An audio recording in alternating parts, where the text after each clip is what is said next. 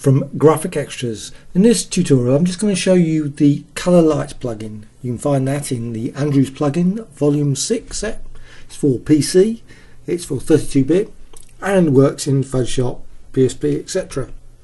Right, well this plugin's a sort of threshold, grainy sort of effect. Creates quite interesting, uh, well, cut out images. So I'm just going to just show this is the default you can see a grainy sort of thing. You can actually see the threshold so I'm just it's called cutoff.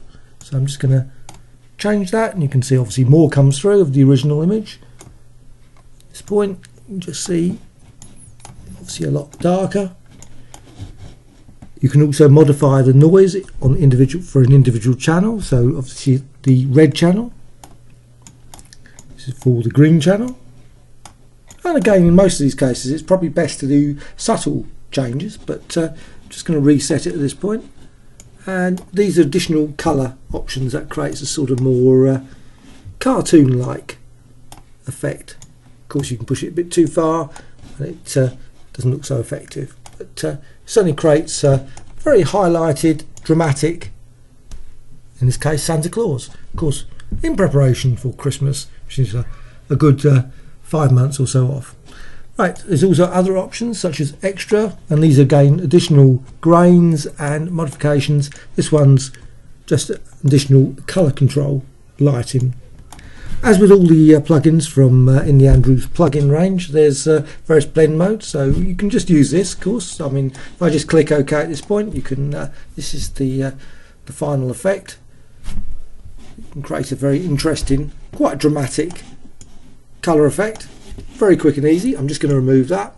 Of course as usual with these ones you can actually uh, modify the uh, plugin using the fade command. Step back. Step back. And now I'm just going to go back to the pro it's just in threshold Color Lite and put it to 50% so you can see it again. As with all the plugins from the Graphicxtras range you can actually use many different blending modes so there's different options here like the edge some more effective than others creates different uh, outputs as well as using layers. So if you're using this plugin on a layer you actually can change modify the uh, transparency so quite useful with like layer effects using bevels and drop shadows creates very unique sort of effects there. Uh, you can also modify the color again adding additional red modifying green. Also you can randomize the settings. So I'm just going to click this just creates different high impact designs. I'm just going to reset it so you can just click extreme.